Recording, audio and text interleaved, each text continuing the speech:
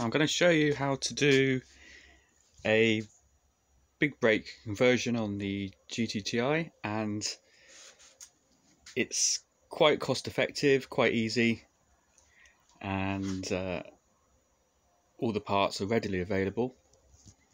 So there's the standard Daihatsu disc and then there's the big disc it's 288 millimeters and then we've got Wilwood calipers. And the pads. So it's actually very straightforward. The caliper is four pot. And it's lug mounted. And as it happens it fits really well. I've got here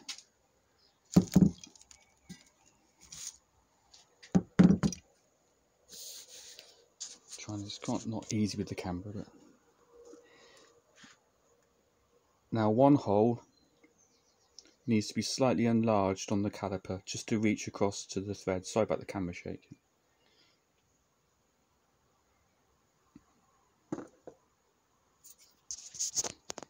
Now,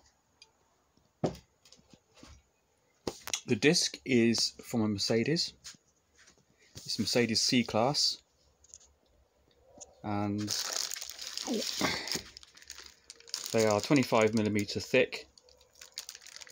These are just cheap discs that I bought to test it out. Um, the disc does need to be drilled for the 4x100 stud pattern but that's no problem. And also a centering ring will be needed for the hub. Again easy to get um, you know get made. You could even use a plastic wheel ring like this. It's commonly used for alloy wheels. Um, there's no reason why that wouldn't work although you'd have to trim it because it, it would stick out too far. But um, in terms of holding the disc in place once the wheel is on,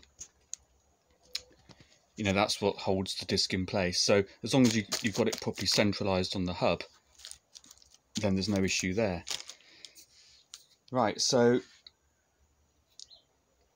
I've got, I've made up outside, I've bolted the caliper to a another knuckle.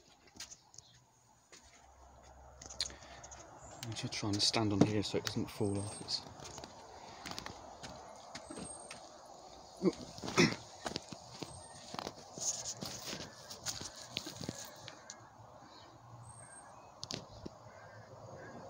so what I've done here is just used one of those plastic spigot rings for now and I've knocked the I've taken the studs out of the hub just again I've not I've not done anything I've not drilled the disc yet at all. Um, and here.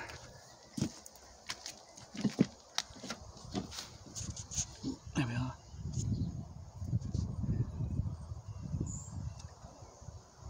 So that goes straight in. And then on the other side oops, I don't know if you can see it it just the hole needs to just be enlarged slightly.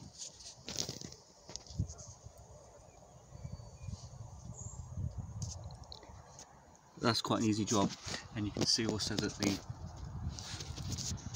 the pads properly fit over the disc. There's no overlap.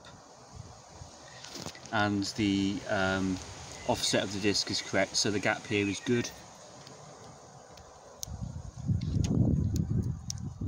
absolutely lovely to change the pads on this.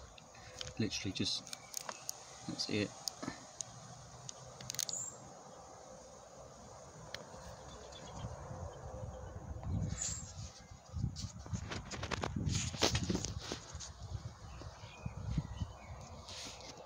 It's a bit wobbly this decking. Right, so the parts you're going to need got I've made a note of this anyway. So that's the caliper part number. Wilwood pads, I mean there's plenty of different brands available. Um, but these are the standard pads if you like that are recommended for general road use and light track duty. They call it the BP10 compound. Uh, the standard disc again, big, big size difference. So let's have a look then on this list I've got. So two Wilwood Dynalite calipers, there's the part number again. That's the current price on Rally Design website, including the VAT for a pair. So that's you can see they're pretty pretty um, great value these calipers. Pads will be um, about 40 45 pounds so the disc, like I say, is a Mercedes C-Class, an SLK.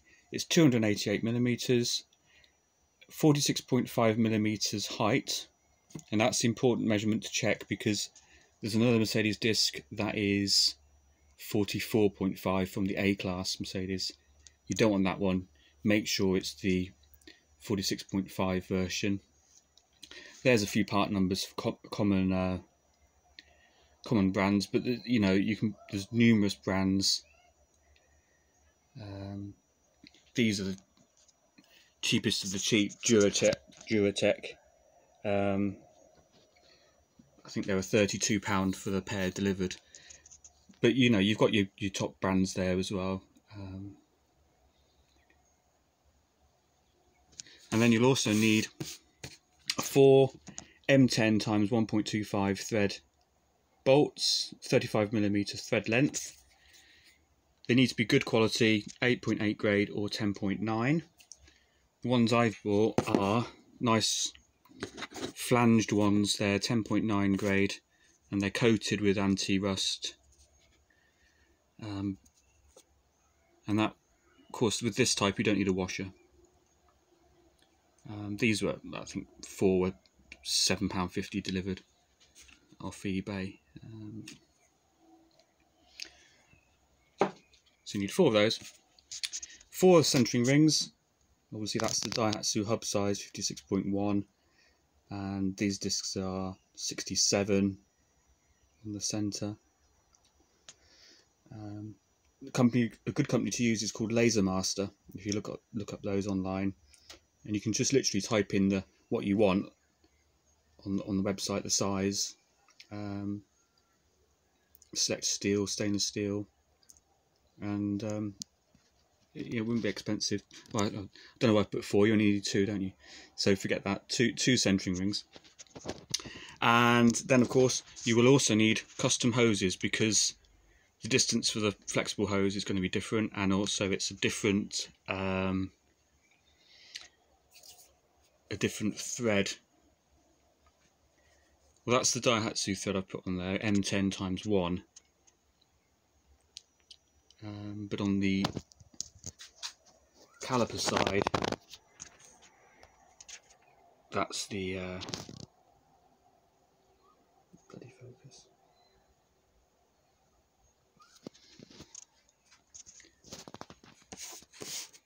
So depending on the obviously the price of the discs you go for, um, other bits and bobs you'll need. This is quite durable within about £350 total. Drilling the disc is actually quite easy. You don't have to be too precise as well with the holes. I know it might be a bit of a scary concept, but all you're doing is making the four holes able to go over the studs. And again, it's the centre that's going to centralise the disc these holes as well, you know, they they're always a good bit larger than the actual stud. Anyway, what I've done there, you see, that's a Daihatsu hub, later spec hub. This is the the bigger round version, um, but I've knocked the studs out. Very easy just to mark to mark up on there. Drill your holes, and um, one thing I have noticed as well, this is not actually a problem at all, the thickness here of the actual hub part is five and a half millimeters and on the Daihatsu disc it's seven. So what that will mean is your wheel will actually sit in 1.5 millimeters more which is no bad thing anyway for people that are running wide wheels. Um, so yeah you can see it's quite an easy project. I've uh, apart from getting all the bits and bobs ready I've not gone any further. I didn't want to um, I've not done anything like drilling the discs at all or, or modifying the caliper. So this is like I say one of the lug needs to be enlarged slightly on this hole just so it reaches across to the to the thread on the on the on the knuckle. I'd recommend don't it's not worth touching both leave one completely standard because that's a nice precise fit.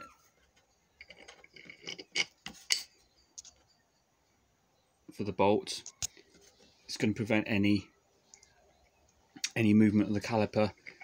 So leave one untouched and then the other hole like I say just enlarge it. It needs to be slightly ovaled and then it will reach across to the other thread. And, uh, and that is it.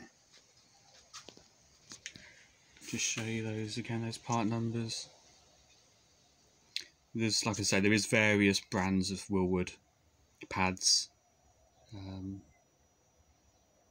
but you know the, the standard pad has got quite a good reputation. Certainly road use. Okay hopefully that's not fallen over over there outside